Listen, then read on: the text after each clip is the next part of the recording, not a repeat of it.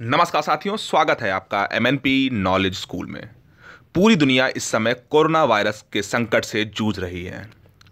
हमारा देश भी कोरोना वायरस से लड़ने के लिए प्रतिबद्ध है और सारे ज़रूरी कदम उठाए जा रहे हैं। इसी सिलसिले में प्रधानमंत्री श्री नरेंद्र मोदी ने देश को संबोधन किया और उस संबोधन में उन्होंने देश की स्थिति बताई, भारत की क्या तैयारी है ये बताई, और फ्यूचर में आपको क्या क्या ध्यान रखना है, इसकी भी जानकारी दी। अगर आप में से कोई भी साथी उस संबोधन को नहीं सुना है तो ऊपर आई बटन में हमने लिंक दे दिया है। आप जाकर पीएम मोदी के भाषण की हर एक चीज़ की जानकारी प्राप्त कर सकते हैं। आज इस वीडियो में हम आपको बताएँगे जनता कर्फ्यू के बारे में।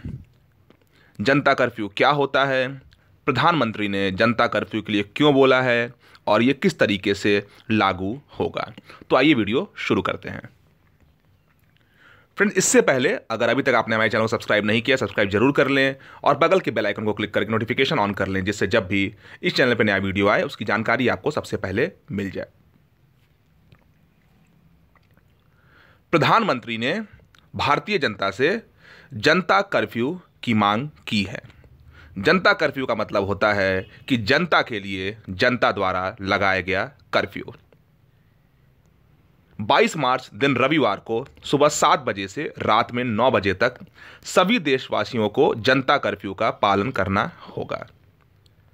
जनता कर्फ्यू होगा, वो हमें, हमारे देश को कोरोना वायरस की जो संकट सामने खड़ी है, जो चुनौती खड़ी है, उसके लिए तैयार करेगी।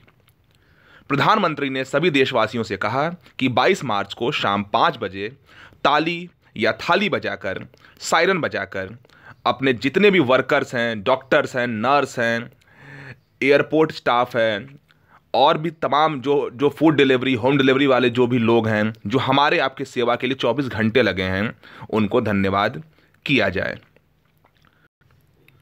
साथ ही साथ प्रधानमंत्री ने यह भी कहा कि 22 मार्च को सुबह सात बजे से लेकर रात नौ बजे के बीच कोई भी नागरिक अपने घर से बाहर ना निकले, सड़क पे ना जाए, मोहल्ले में ना जाए।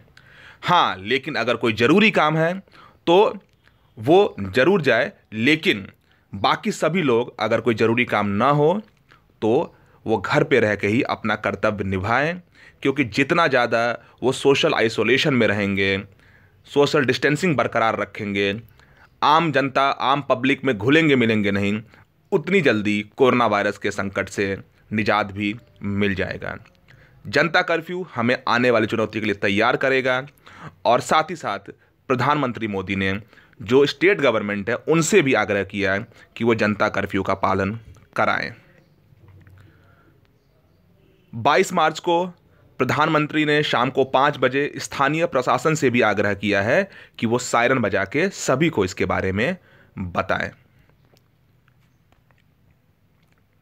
जनता कर्फ्यू दुनिया को दिखाएगा कि हम इस वायरस से लड़ने के लिए कितने तैयार हैं और साथ ही साथ प्रधानमंत्री ने यह भी कहा कि एक व्यक्ति अन्य दस लोगों को जनता कर्फ्यू की ज़रूरत के बारे में भी बताए।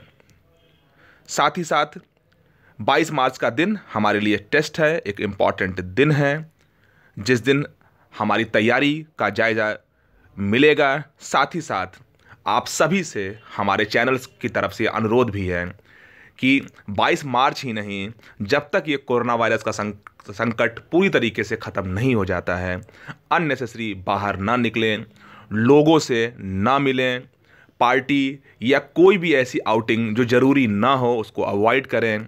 क्योंकि फ्रेंड्स अगर आप सुरक्षित रहेंगे तो ही देश सुरक्षित रहेगा, हमारा भारत मज़बूत रहेगा, क्योंकि हम जो एक 130 करोड़ जनसंख्या वाले देश हैं, अगर हमारे देश में ये वायरस फैल गया तो उसको संभालना वाकई मुश्किल होगा। तो अभी वक्त है, आप सभी जब तक बहुत ज़रूरी ना हो, घर से बाहर ना निकले और सोशल आइसोलेशन में रहने की कोशिश करें। आप सभी सेफ़ रहें, आपका परिवार सेफ़ रहे और कोरोना वायरस की लड़ाई को हम जल्दी जीतें और हमारा देश हमेशा की तरह आगे बढ़ता रहे। इसी उम्मीदों के साथ ये वीडियो मैं समाप्त करता हूँ। अगले वीडियो तक है नाइस डे कीप स्माइलिंग